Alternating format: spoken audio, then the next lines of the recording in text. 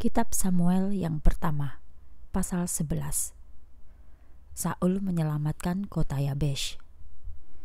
Pada waktu itu, Nahas memimpin pasukan bangsa Amon untuk mengepung kota Yabesh Gilead.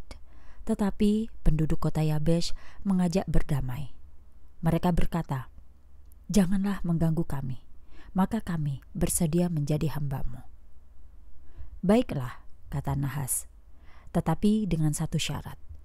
Aku akan mencungkil setiap mata kananmu untuk mempermalukan segenap Israel. Para tua-tua Yabesh menyahut, Berilah kami waktu selama tujuh hari untuk mencari bantuan. Jika di antara saudara-saudara kami tidak ada yang mau datang untuk menyelamatkan kami, maka kami akan menyetujui persyaratanmu. Para utusan Yabesh Gilead tiba di Gibea kota tempat tinggal Saul, dan memberitahu orang-orang di situ tentang malapetaka yang sedang mengancam mereka. Maka menangislah semua orang itu. Ketika itu, Saul baru pulang dari membajak di ladang. Ia sedang berjalan di belakang sapinya.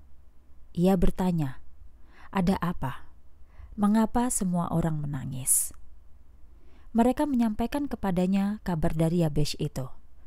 Lalu roh Allah turun ke atas Saul, dan ia menjadi sangat marah atas ancaman itu. Ia mengambil sepasang sapi, memotong-motongnya, lalu mengirim utusan-utusan untuk membawa potongan-potongan sapi itu ke seluruh Israel dengan pesan demikian. Inilah yang akan terjadi atas sapi-sapi orang yang tidak mau mengikut Saul dan Samuel ke medan perang. Tuhan membuat umat Israel takut akan kemarahan Saul dan mereka datang dengan serentak. Saul menghitung mereka di Bezek. Semuanya berjumlah 300 ribu orang Israel, di samping 30 ribu orang dari Yehuda. Lalu ia menyuruh para utusan itu pulang ke Yabesh Gilead. Kami akan menyelamatkan kalian besok sebelum tengah hari, katanya. Ketika hal itu diberitakan di kota Yabesh, segenap isi kota itu bersuka cita. Kemudian orang-orang Yabesh itu berkata kepada Nahas, musuh mereka, "Kami akan menyerahkan diri kepadamu. Besok kami akan keluar, dan kamu boleh memperlakukan kami menurut kehendakmu." Tetapi keesokan harinya, Saul telah tiba pagi-pagi sekali.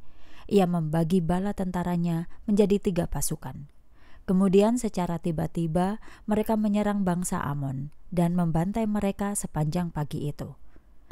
Sisa bala tentara Amon dicerai beraikan, sehingga di antara mereka tidak ada dua orang yang masih tinggal bersama-sama.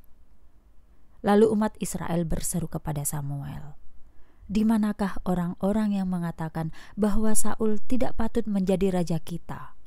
Bawalah mereka ke sini, dan kami akan membunuh mereka." Tetapi Saul berkata, "Pada hari ini tidak ada seorang pun yang boleh dibunuh, karena pada hari ini Tuhan telah menyelamatkan Israel.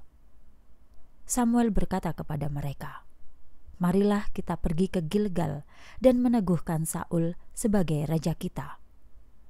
Maka segenap bangsa Israel pergi ke Gilgal, dan di situ mereka menobatkan Saul menjadi raja dengan upacara yang khidmat di hadapan Tuhan.